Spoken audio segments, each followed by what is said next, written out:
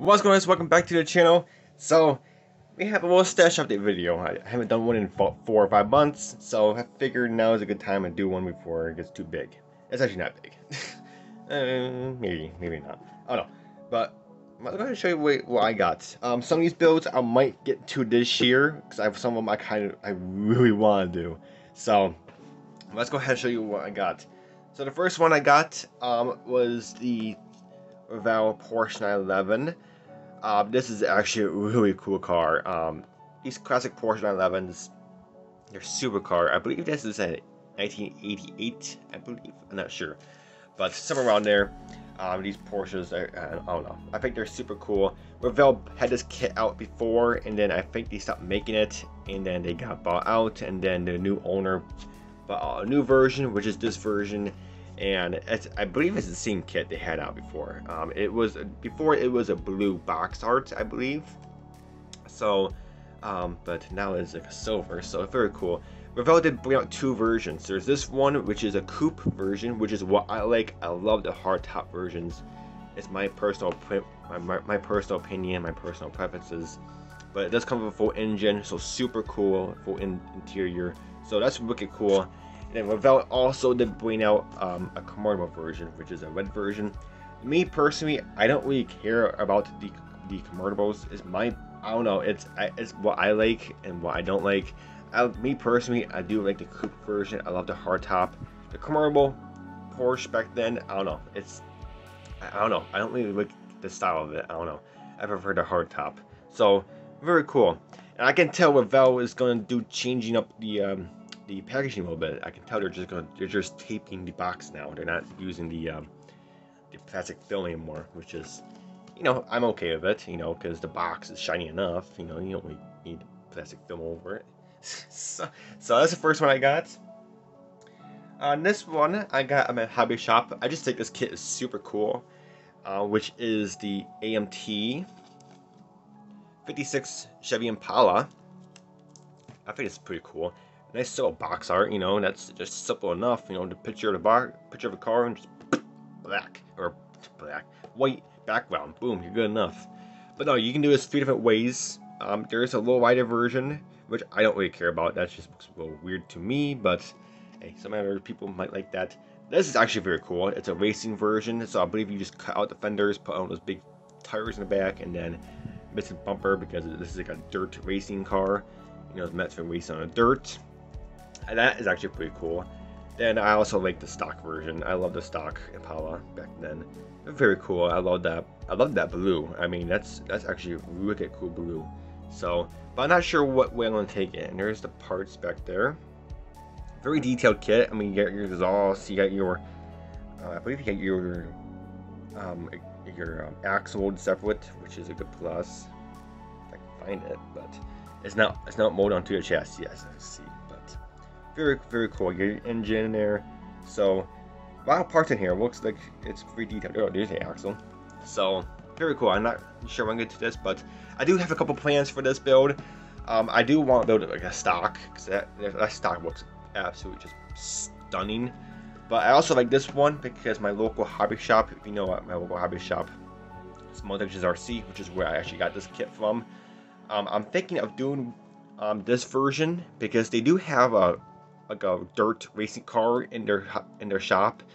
Not like this. It's it's like a normal car kind of deal. I'm not sure what it is, but um, I'm thinking of doing this version, painting it like probably this color type deal, probably like an orangey color, and then I do have um, decal paper I can print out and print out their logo and put on there because they only have um, a model of their logo on it. So I might do that because I know the owner. The owner's super nice. He knows me and all the workers know me and I think I might do one of these for them, you know, put in the case and you know have their own model because they haven't because this year early this year or late last year is when they start selling model kits because they you know moved and expanded and you know they getting a lot of customers buying model kits which is super cool.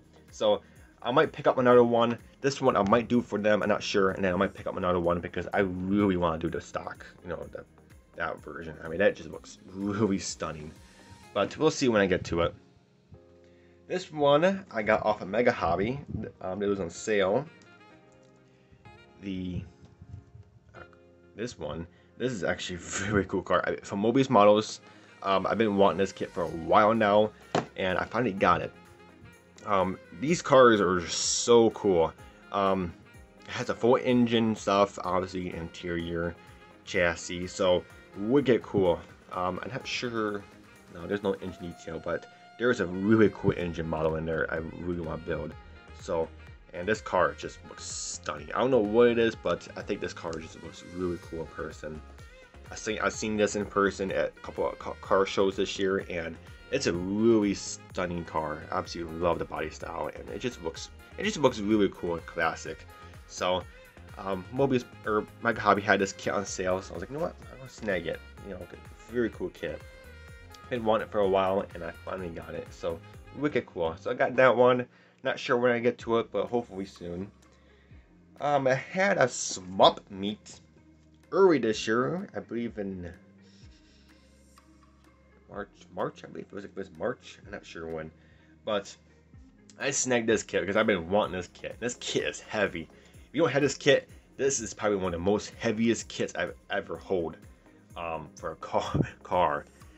Um, the Dodge um, uh, Daytona uh, car. I mean, this is a heavy box. I cannot believe how heavy this thing is. This is I know how many parts in this thing. 201 parts. That is in that's probably the most parts I've seen in any car kit. There is a lot. I'm not, I'm not I don't want to open it because I know that everything out, I'm not going to get it in the box because Revell, all these companies, like, like Mobius, all these companies, somehow they're master packaging boxes because you get it open, take everything out, put it back in, you're not going to get a box ever closed again. So I'm not going to attempt opening it. But I, I don't know what is in here, but there is a lot. Obviously, there's two different engine options. You can do different cars. You can do street or the race car, the, the Daytona car.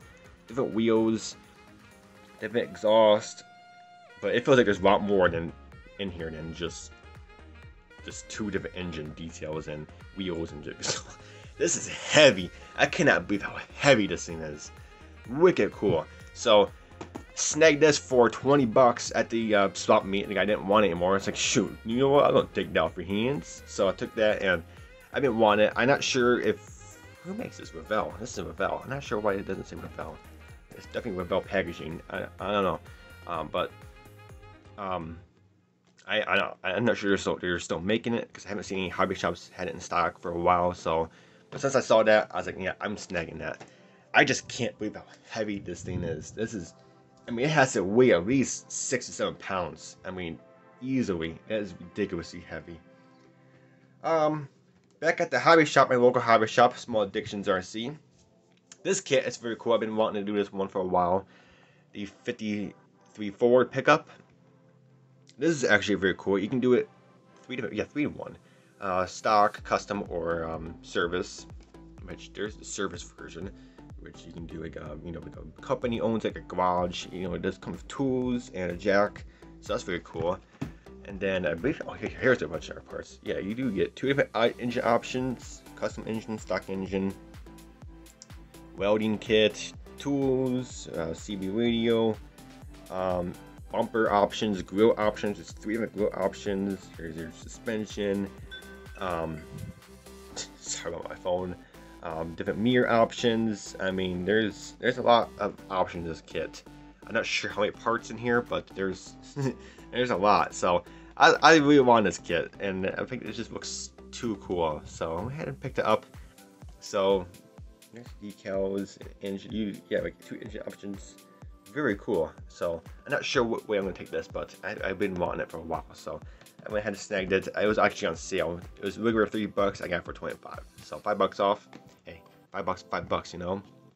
So look at look at cool. I got that one from my local hobby shop. Another one at my local hobby shop. I'm telling you, it's really it's really called a small addictions for a reason. It's actually called big addiction. Should be called big addictions because they're bigger now. but this one I've been wanting. I haven't had it been, been, wanting it for a long time. Never got a chance to get it.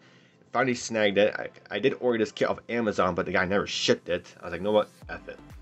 So I'm lucky my hobby shop had it in stock and this is very cool. Again, another heavy box. These Mobius kits, I can't tell you. These, every single Mobius kit box is just too heavy.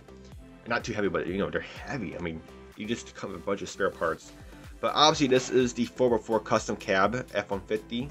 66 is actually a year my mom mom's actually be born, or born, so it's very cool. Um, but yeah, there is the engine, very cool engine. You got the chrome or the gold valve covers. Uh, again, 4x4, so you do have your transfer case and all this fun stuff. I believe this is the second 4x4 kit Mobius has. I believe they bring out another version. It's a lifted version. I'm not sure when that's coming out. I did see that somewhere.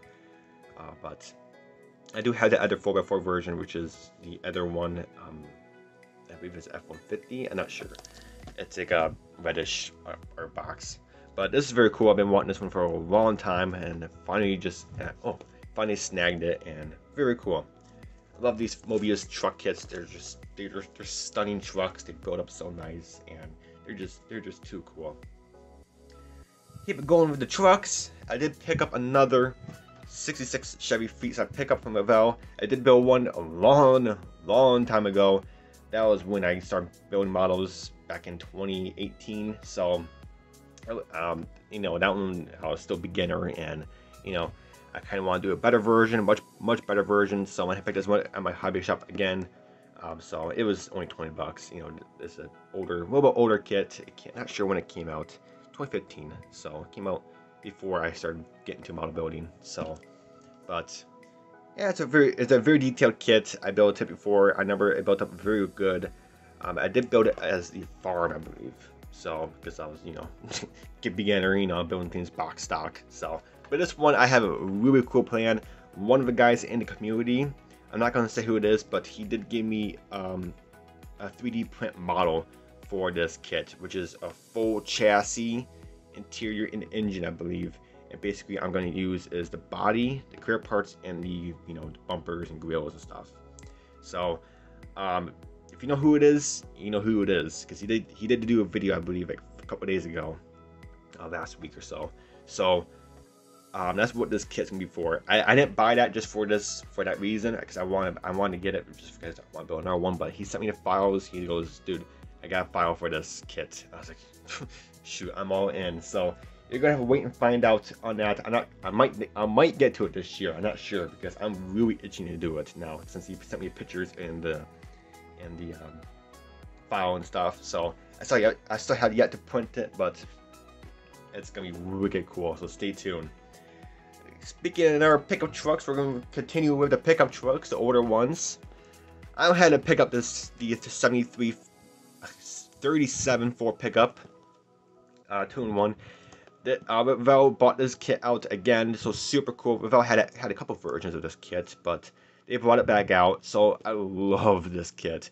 This kit is so cool. There's tons of ways you can do it, like just like the uh, Model A Roadster, Model A Coupe, you know those type of kits this this these type of trucks, you know, there's so many ways you can build it. So I might even get another one in the future. So there's 162 parts in here, so that's pretty insane. This kit, this box is not as heavy, so I'm really surprised about that. But you can do a stock or you can do like a custom. There's two different grill options, engine, um, you know, heads options, you know, for your air tanks and stuff. It does come with a surfboard, so that's pretty cool. And then you know, there's there's tons of different ways. I know I remember Dr. Cranky back in the day. He he loved this kit, um, so he bought a whole bunch. But there is actually tons of ways. There's you can put in a different engine if you want to. I might put in a, I might step in a different engine. Who knows? But you do like a rat rod, a custom. You know, there's there's this truck is just it's just too cool. So since since I saw Revell bring it back out, I was like, yeah, I have to get that kit. So I got that kit also at my local hobby shop.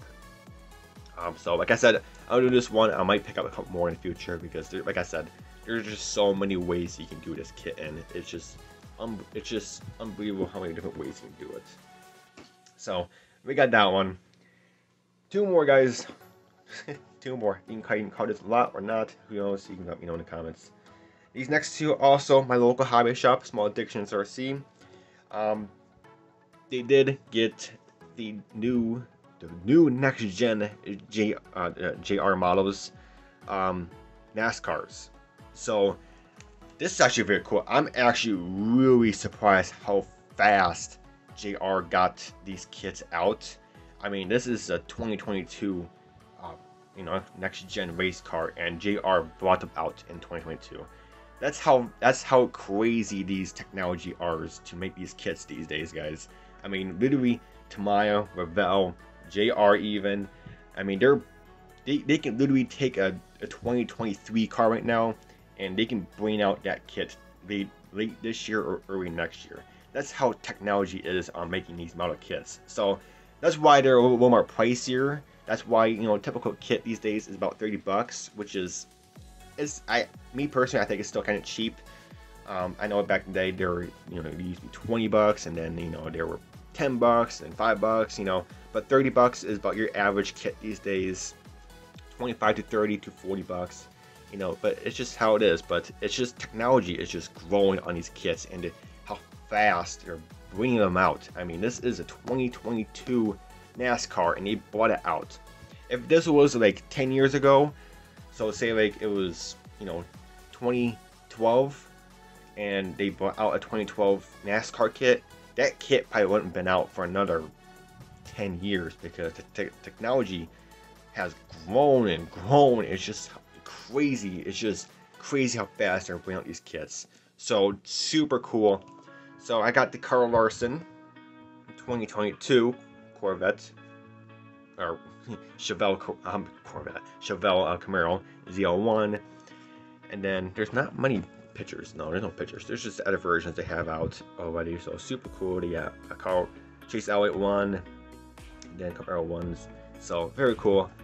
Um, uh, this is a full in, full kit, engine, interior, and chassis. Even though the chassis on these next gen cars, there's not much to see under it because it's really all skid plate. Um, so that's one major difference with these cars is all skid plate. There's no you know you can't see the rear axle or anything. Which I do believe I do I do believe you do have a rear axle here. You're just not gonna see this, but this is a full kit, so super cool. So Kyle Larson, he was bombing the races last year. 2021, he won like, I think he won like six or seven, not maybe 10 races last year. I mean, he was bombing. He only won one or two this year so far, so.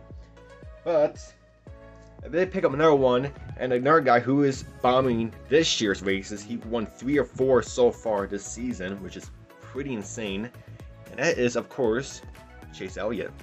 Chase Elliott, I, I, I like Chase Elliott. He's a really cool guy. He did replace Jeff Gordon back day back in the day he was number 24 and then he switched to 9 so but he's now 9 and Chase Elliott I do like Chase Elliott. He's he's a really cool driver and he's actually really cool. Um, like I said um, I'm not sure it doesn't show it on this box no it doesn't but they do have the normal version of his car which is the Napa. But that's pretty cool. My hobby shop did have a Napa one but um, they had Hooters version. The, the Hooters one is pretty cool. Um, so I, I just like the livery, the the uh, style of the car. It's just, or not the style, but you know the decals and stuff. I think this is pretty cool. Hooters. So I did pick up the Hooters one, and very very cool. There's this car right there, and then there's a car right there. Of course, I had the Chase Elliott one, or the Chase Elliott, but the Kyle Larson one. So very cool to get to 2022. So very very cool. The Hooters is very cool livery. Um, but yeah, very cool. Hooters. If you if you if you if you know, look at the um uh, owl's eyes. Tell me what that represents. I think you should know what that represents. But I'm not gonna say it on camera. But other than that, guys, that is it.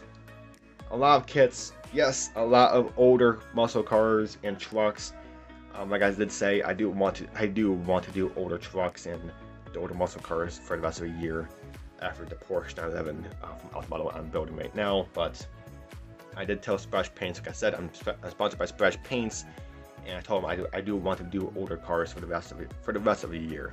We should try to. And he goes, okay, perfect. So after the Porsche, we're on to the older stuff, which I'm really happy about because I do love building these older muscle cars and stuff.